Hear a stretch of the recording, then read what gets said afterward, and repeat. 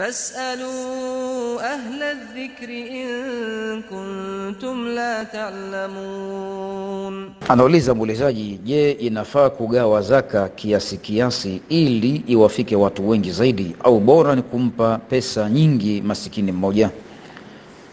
Aljawab, الزكاة أي زكاة المال إنما شرعت لأجل إغناء الفقير والمسكين ومن كان tahta hadha almaana?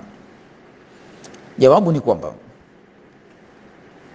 zaka ya mali imefaradhishwa kwa lengo la kumtajirisha au kumpa uwezo yule masikini ili awe tena si mwenye kuombaomba, na ndio maana hata katika zakatu fitri tuliambiwa kwamba aghnuhum ani suali fi hadha alyawm kwamba wapeni katika zakatul fitri wale wenye kuhitajia siku ile ya sikukuu itapoingia, basi wawe si watu wa kuomba tena chakula kwa watu wengine.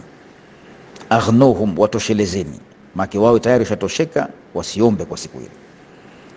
Na vile vile katika zaka ya mali asili ni kwamba kutoa kumpa masikini kiasi ambacho kitamfaa ili asiwe ni mwenye kuombaomba tena baada ya hapo. Hiyo ndo asili ilivyo.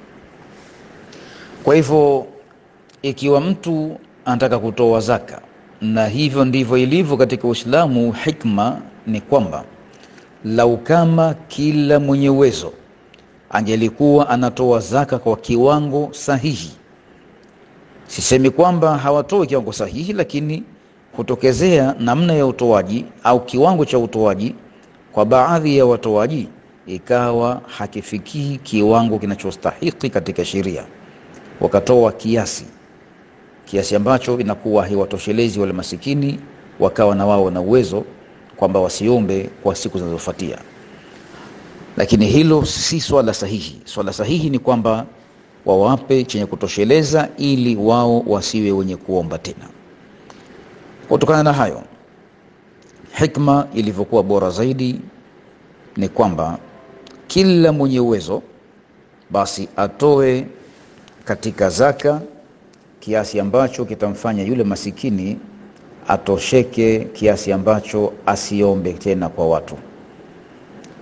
Ama hali za watu zilivyo kwa sasa ni kwamba wengi wao wanakuwa kila mmoja anatoa kwa namna anavyotaka mwenyewe na kwa mtu ambaye anamtaka mwenyewe.